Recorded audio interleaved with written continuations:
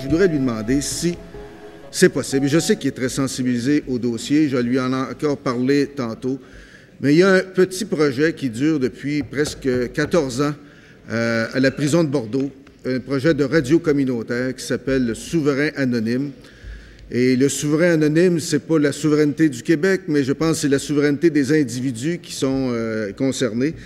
Et euh, une décision, semble-t-il, à la fois euh, de la direction d'établissement puis du comité paritaire fait en sorte qu'on remet en cause ce projet-là pour lesquels beaucoup de gens, non seulement de la prison de Bordeaux au fil de toutes ces années qui ont passé, parce qu'on sait qu'en prison de Bordeaux, c'est des peines de moins de deux ans.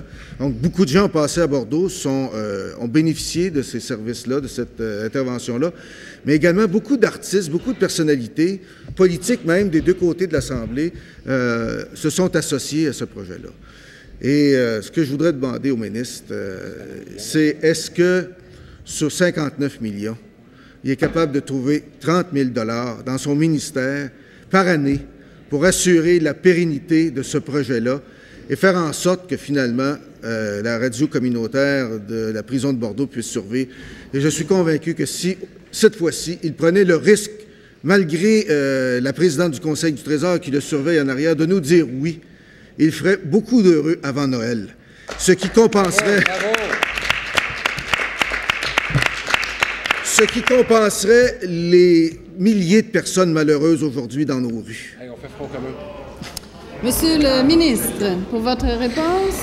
Alors, euh, Madame la Présidente, euh, c'est assez curieux. Puis, je, je- je l'ai dit tout à l'heure, no- no- notre collègue député de Bordeaux est assez original. Il me demande, en fait, de- pour la première fois, de prendre l'argent de la police et de le mettre en prison. Pas la police, l'argent. Mais euh, je dois, je dois vous dire bien franchement, puis il n'y a pas de candeur là-dedans, parce que c'est vrai que le député de Verchères m'en a parlé, le député de Gouin aussi m'en a parlé, des collègues m'en ont parlé, la députée de la de m'en a parlé. Euh, la députée de Maisonneuve a été aussi euh, co-signée dans ce dossier-là. Et donc, il y a plusieurs collègues de l'Assemblée qui ont, euh, qui m'ont parlé de ce, de ce sujet-là. J'ai moi-même parlé à M. Mohamed Lofti, qui est le, producteur de l'émission. Euh, et en fait, nous avons convenu ceci. L'émission comme telle va fonctionner jusqu'au mois de mai. Et, au moment où on se parle, effectivement, elle s'arrête le 13 de mai. Mais euh, j'ai euh, dit à M.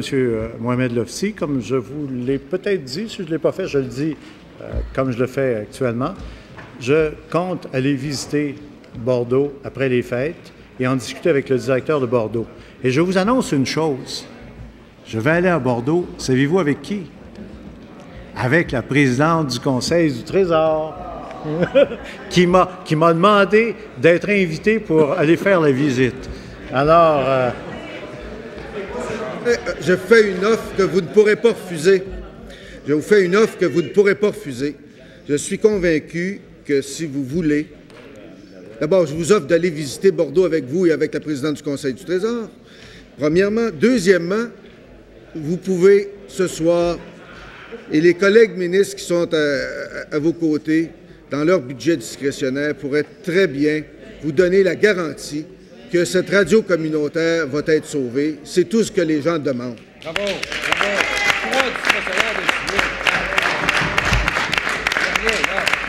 Je, je vois le, je vois le grand sourire du ministre des Affaires municipales qui sans doute est prêt à mettre 10 000 dans la cagnotte. Sans doute la présidente du Conseil du Trésor pourrait faire la même chose et que le ministre des Finances à côté pourrait mettre 10 000 de son discrétionnaire, qui je pense est assez élevé. Autre aussi pourrait être, faire partie de ça. Non, non. Ah! Mais une chose certaine, honnêtement, honnêtement, nous allons regarder très positivement ce dossier-là. Et comme je vous l'ai signalé, après, après après avoir rencontré, dis oui, dis oui. Ah oui, je dis oui, c'est oui. Euh,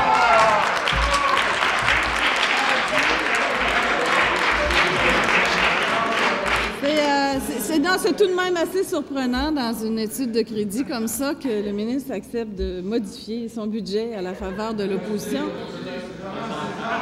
César, je salue euh, le ministre et je remercie euh, ses collègues de leur générosité.